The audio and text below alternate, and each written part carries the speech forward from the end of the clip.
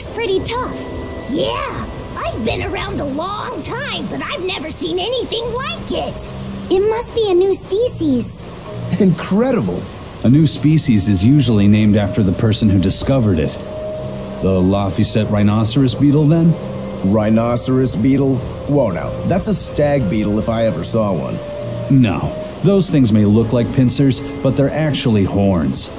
A three horned beetle will cause quite a stir in the bug community. Hey, I know pincers when I see them, and those were some mighty pincers. The Laphicet stag beetle has a better ring to it, right? What part of that sounds better? The whole thing. Stag beetles are the strongest after all.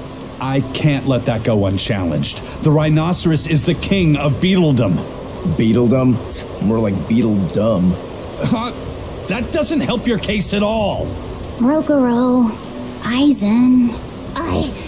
I feel a dangerous storm brewing. The rhino is a one trick pony with its horn, but a stag can cut its opponents in half. Its weapons can be used in any situation. The stag is a true swordsman. That's petty trickery. The only beetle with the raw muscle to decide its own fate is the rhino. But they only live for a year. The stag can survive through the winter. They live hard and die young. Is the beauty of such a life lost on you? Why is it that boys get so excited when they talk about bugs? Rhinoceros, stag, or butterfly. It's all no matter to me. They all look like cockroaches.